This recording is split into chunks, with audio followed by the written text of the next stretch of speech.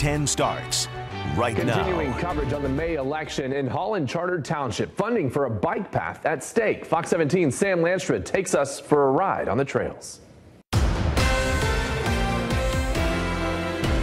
Here in Holland Charter Township, you're never more than around one mile away from the bike path. When you've got 70 miles of trail to work with, it's hard to avoid and hard to maintain.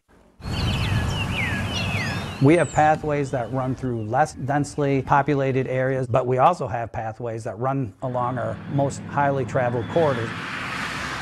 Take a spin, and you'll see. And it's that connectivity.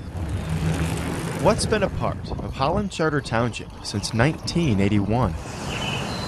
And more recently, Absolutely, I'm a daily user of our pathway system. a part of the township manager's routine. Walking my dog. The new millage proposing a 0.1 mill increase to pay for year round maintenance and future expansion. If passed, the millage would cost the average homeowner an estimated $55 per year.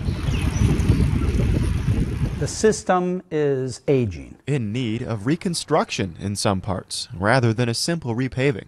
The bill has gotten bigger over time, with costs for renovation raising around 7% annually over the last five or six years. With our current funding, we're limited. The millage hike would yearly haul in an additional $200,000, And you can go just about any destination you want to via a pathway in the township. allowing the township to take care of the path, as it's done for decades.